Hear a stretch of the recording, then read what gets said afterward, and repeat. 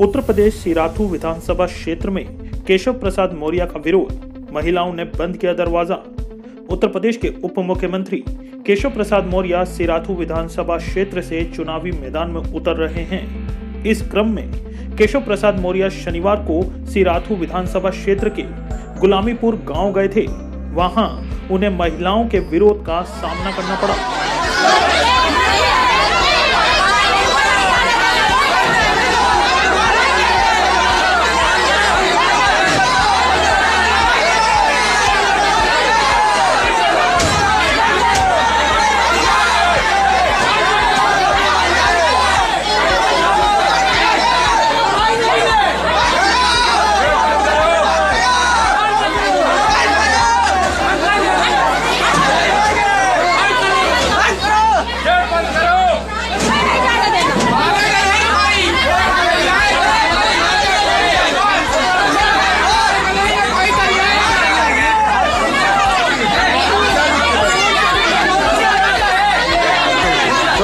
Lagu.